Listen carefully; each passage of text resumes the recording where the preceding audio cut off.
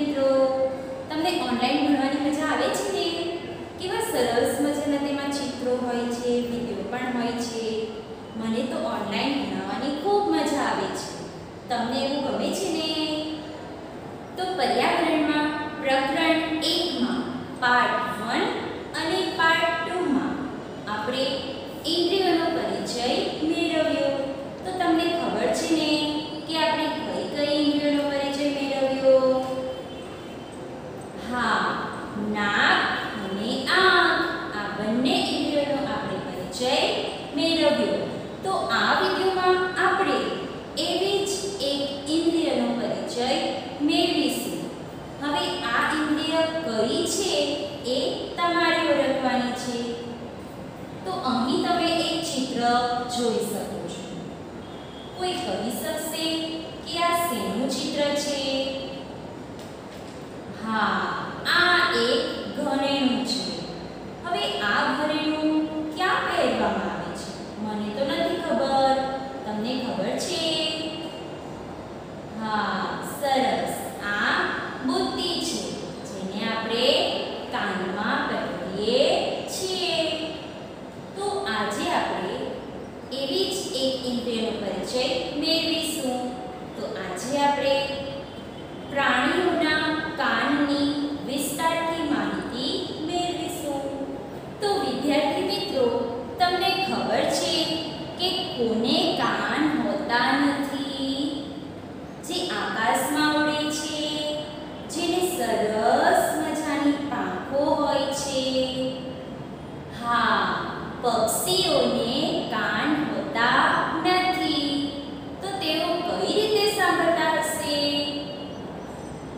હા તમને તો બધી ખબર છે પક્ષીઓને કાન હોતા નથી પણ પક્ષીઓને નાના નાના છિદ્રો હોય છે જેને આધારે તેઓ સાંભળી શકે છે હવે પક્ષીઓને છિદ્રો હોય છે પણ શું તમે એ છિદ્ર જોઈ શકો છો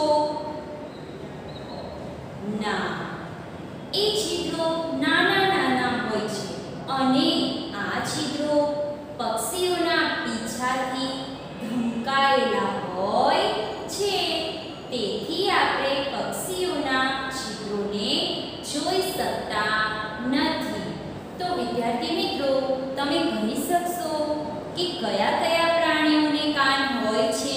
હાથી ગાય ભેંસ ઘોડો બકરી.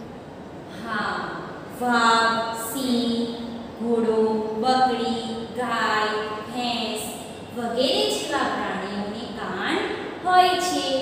હવે મારો બીજો પ્રશ્ન છે કે કયા કયા પ્રાણીઓના કાન આપણા કરતાં મોટા હોય છે હાથી ઘોડો ગાય હા હાથી ઘોડો ગાય ભેંસ સસલું વગેરે જેવા પ્રાણીઓના કાન આપણા કરતાં પણ મોટા હોય છે તો તમને એવો પ્રશ્ન ઊભો થાય છે કે એવા પ્રાણીઓના જો કાન મોટા હોય તો તેઓને વધારે સંભળાતું હશે અને આપણા કાન નાના હોય કે ઓછું સંભળાય તો આનો વિચાર તમારે કરવાનો છે અને તમારી નોટબુકમાં તેની નોંધ કરવાની છે કે કાન મોટા હોય તો વધારે સંભળાય અને નાના હોય તો ઓછું સંભળાય.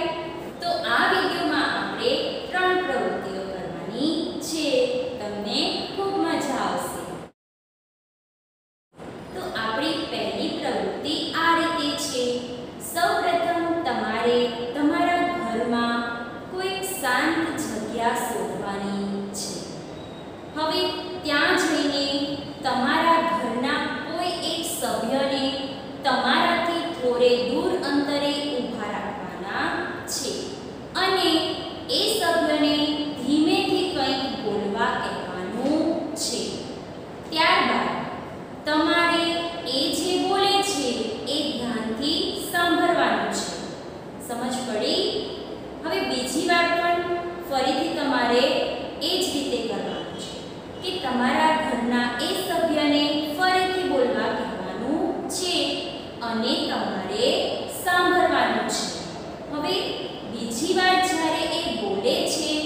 ત્યારે તમારે તમારા બંને હાથ તમારા કાનની પાછળ આ રીતે રાખવાના છે અને જે બોલે છે, એને ધ્યાનથી સાંભળવાનું છે. સમજ પડી ગઈ? તો આ રીતે તમારે આ પ્રવૃત્તિ કરવાની છે. હવે આમાં બે રીતે કરવાની છે એક, તમારે હાથ કાનની પાછળ નથી રાખવાના. પહેલી વાર બરાબર? અને બીજી વાર એ સભ્ય બોલે છે ત્યારે તમારે હાથ કાનની પાછળ રાખીને સાંભળવાનું છે. હવે તમારે આના પરથી વિચારવાનું છે કે તમને કઈ સ્થિતિમાં કેવું સંભળાય છે એ તમારે વિચાર કરવાનો છે.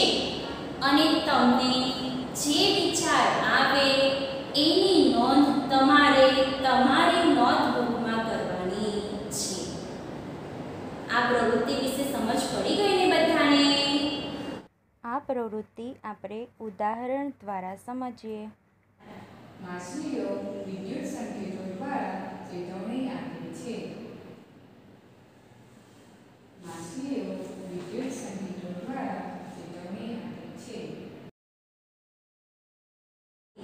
હવે આપણે બીજી પ્રવૃત્તિ કરીએ બીજી પ્રવૃત્તિમાં સૌપ્રથમ તમારે તમારા બંને હાથ કાન પર આ રીતે રાખવાના છે બધાએ આ પ્રવૃત્તિ મારી સાથે કરવાની છે બધાએ મૂકી દીધા હાથ સરસ હવે હું જે બોલું એ તમારે બોલવાનું છે સમજી ગયા ચાલો માછલીઓ ચેતવણી સંકેત આપે છે શું થયું હા આપણે જ્યારે આપણા બંને હાથ કાન પર આ રીતે રાખીએ અને કંઈક બોલીએ ત્યારે આપણને આપણો અવાજ સંભળાય છે મારી સાથે તો આવું થયું તમારી સાથે આવું થયું ને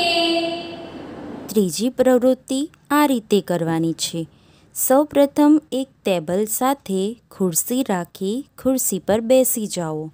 હવે તમારા હાથ વડે ટેબલ પર અવાજ કરો અને ધ્યાનથી સાંભળો. બીજી વખત ફરીથી ટેબલ પર હાથ વડે અવાજ કરો અને તમારા કાન ટેબલ પર રાખો.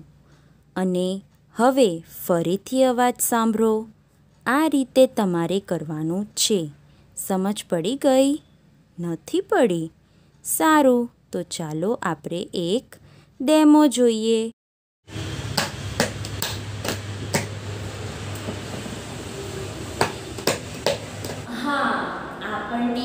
ટેબલ પર હાથથી અવાજ કરવાથી અવાજ અલગ સંભળાયો. અને જ્યારે આપણે આપણો કાન એ ટેબલ પર મૂકીએ ત્યારે આપણે હાથનો અવાજ કરીએ છીએ. ત્યારે પણ આપણને અવાજ અલગ સંભળાયો. કારણ કે આપણા હાથનો અવાજ ટેબલ પર કરીએ છીએ. ત્યારે આપણા કાનમાં તે હાથની ધ્રુજારીનો અવાજ પણ આપણને સંભળાય છે તેથી આ બંને પ્રવૃત્તિ કરીએ ત્યારે આ તફાવત આપણને જોવા મળે છે બાળ મિત્રો હવે મારો બીજો એક પ્રશ્ન એવો છે કે શું સાપને કાન હોય છે તમે જોયા છે